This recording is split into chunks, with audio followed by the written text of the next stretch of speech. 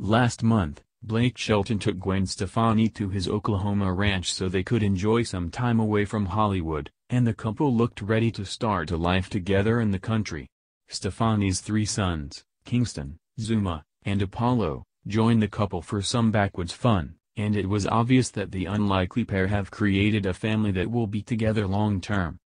When Stefani and Shelton first started dating in 2015 after meeting on The Voice, there weren't many people who thought the relationship would last.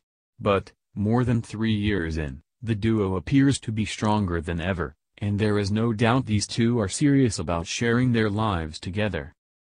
Over the course of their relationship, Stefani and Shelton have sung duets together, celebrated the holidays with each other's families, and they gush about each other on social media on a daily basis. The couple appears to be so in love, that rumors of a wedding have been circulating for months, but right now they are simply enjoying their lives, with no rush to walk down the aisle. On their latest trip to Oklahoma, Stefani documented their adventures on Instagram, and the California girl proved to her fans that she could hang with the country boys.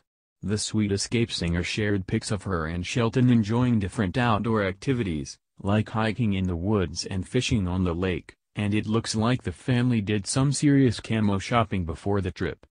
According to Country Living, one of the sweetest moments from the vacation was a video clip of Shelton helping five-year-old Apollo reel in a fish, Shelton also posted a pic on Instagram of himself riding an orange tractor across a dirt field, and he wrote in the caption that he was working on Stefani's wildflower garden spot.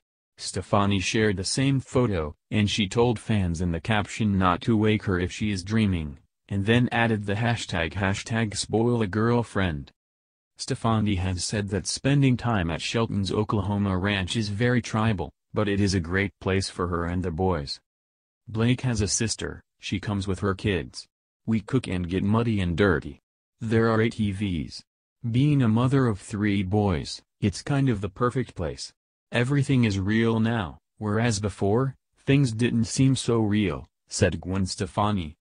Shelton sings about his love for his Oklahoma roots in his new single God's Country.